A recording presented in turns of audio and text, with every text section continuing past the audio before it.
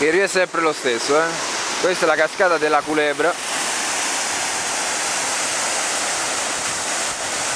viene da lassù vedete